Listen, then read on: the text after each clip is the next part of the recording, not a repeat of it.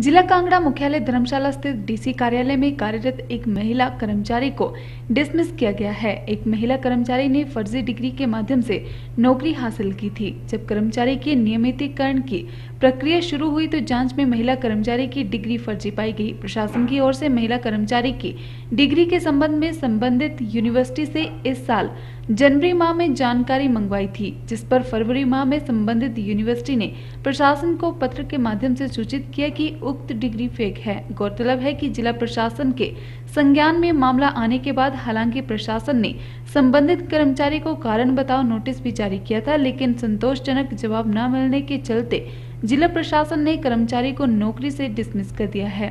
वहीं पुलिस ने भी मामला दर्ज।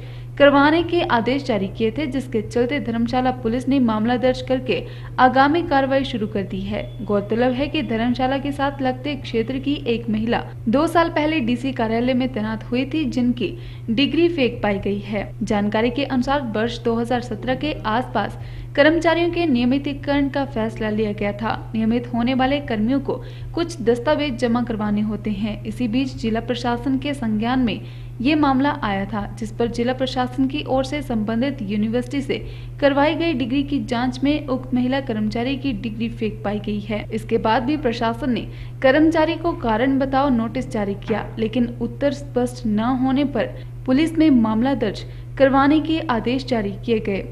एक एक एम्प्लॉई थी जिनका जो, जब रेगुलराइजेशन की बात आई तो उसमें जो डिग्री है वो फेक पाई गई थी और यही वजह है कि पहले तो उनको डिसमिस कर दिया गया सर्विस से और उनको शो कॉज पहले किया गया था, कारण एक्सप्लेन करने के लिए बोला गया था। स्पष्ट वो बता नहीं पाए, उसके बाद उनको डिसमिस कर दिया गया है और साथ ही साथ आदेश कर दिए गए हैं कि पुलिस में भी एक जो क्रिमिनल कंप्लेंट है वो फ़ाइल की जाए। देखिए, जब से मेरे मामला हमारे संज्ञान में आया और जब रेगुलेशन की बात आई है रेगुलेशन का जो प्रोसेस है, पाँच साल के पास होता है यहाँ पे और ये ई गवर्नेंस से इनको रखा गया था। तो ये दो हज़ार अठारह उन्नीस में जब ये फैसला हुआ था कि इनको रेगुलराइज करना है 2017 के आसपास हुआ था कि इनको रेगुलराइज करना है, उसके बाद कुछ इनको पेपर्स सबमिट करने होते हैं, जब उस प्रकार से जब ये मामला हमारे संज्ञान में आया है और जनवरी में हमको ये पता चला, जब हमने इनकी डिग्री को इसको चेक करवाया, जो संबंधित यूनिवर्सिटी हैं, वहाँ से जब फरवरी के आसपास हमको एक लेटर प्राप्त हुआ था, इस इस साल, कि ये जो डिग्री है फेक है, उसके उपरांत हम जो कार्रवाई एडमिनिस्ट्रेटिव कार्रवाई बनती थी, वो कार्रवाई हमने की है।